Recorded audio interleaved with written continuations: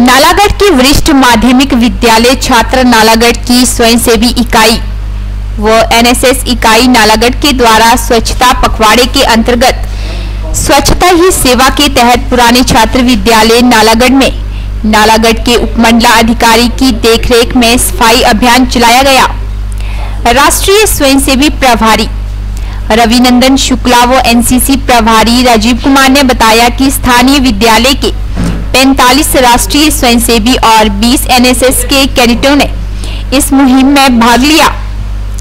इस मुहिम के तहत पुराने छात्र विद्यालय व पार्क में लगे पौधों और क्यारियों को दुरुस्त किया गया।